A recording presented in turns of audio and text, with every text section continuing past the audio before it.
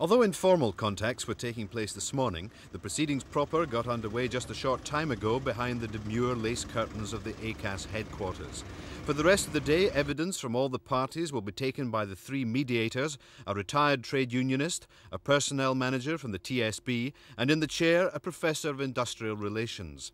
A board of mediation, as it's known, can take weeks for the final written judgment to emerge, but in the circumstances, the mediators have agreed to speed up procedures. There could be a result by late tomorrow.